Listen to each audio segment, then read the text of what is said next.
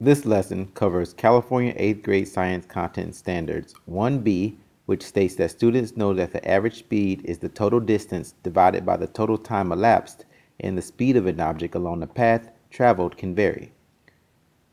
Standard 1C, which states that students know how to solve problems involving distance, time, and average speed. Standard 1D, which states that students know the velocity of an object must be described by specifying both the direction and the speed of the object. N1E, which states that students know that changes in velocity may be due to changes in speed, direction, or both. The learning objectives, or things you should be able to do at the end of this lesson, are as follows. You should be able to explain how speed is a rate of change, solve motion problems involving average speed, explain why velocity is a vector, and determine when acceleration happens.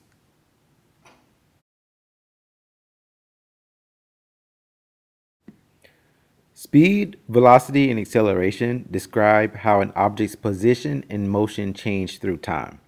Now, you've probably heard of speed before, uh, but speed is a rate, and rates measure the change in something over a length of time.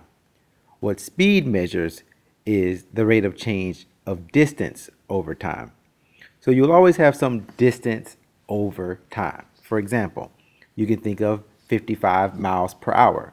That's 55 miles you go over the course of an hour. Okay.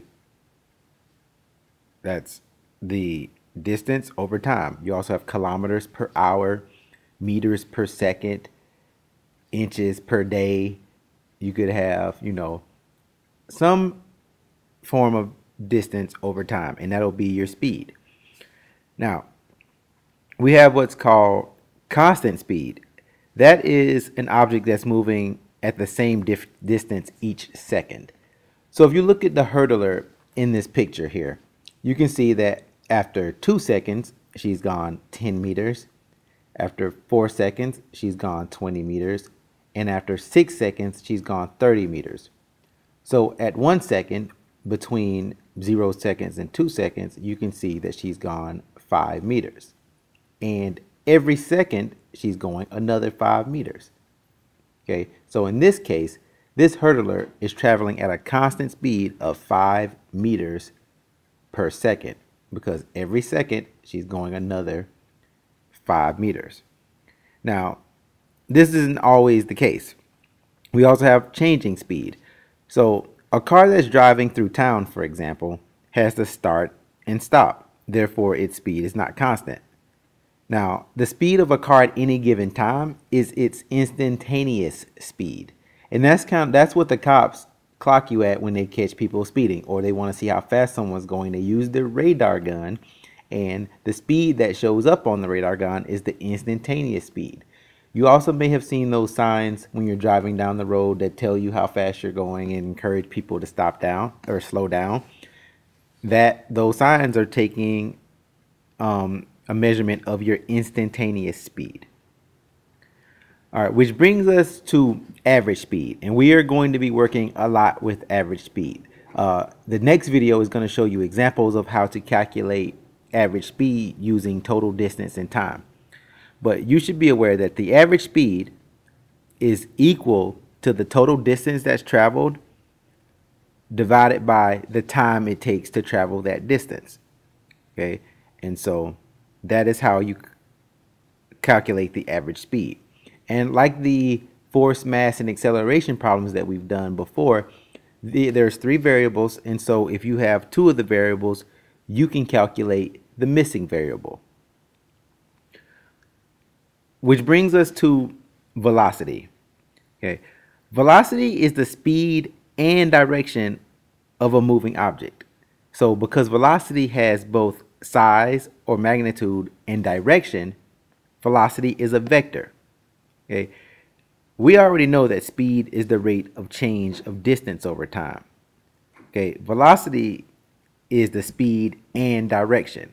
Okay, so in terms of velocity, you need to understand that, for example, if someone says that they are going 100 miles per hour, they've just given you their speed. If someone says that they are going 100 miles per hour east, they've given you their velocity because speed only tells you, you know, the rate of change over distance, but velocity tells you your speed and direction. Okay, and because velocity is a vector, it has size and direction.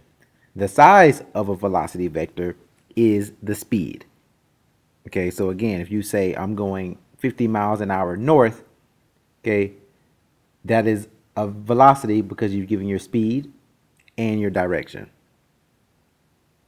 Now, acceleration is the rate at which velocity changes with time. Okay, so this measures the how fast or slow velocity is changing. And because acceleration has to do with velocity, which has size and direction, anytime you change your speed or your direction, you will be changing your velocity.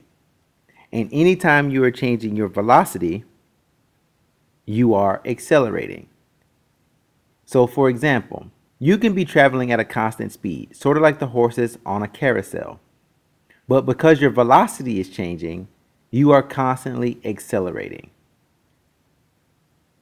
And because and that is because your direction is constantly changing. And if velocity is changing, acceleration is changing or happening.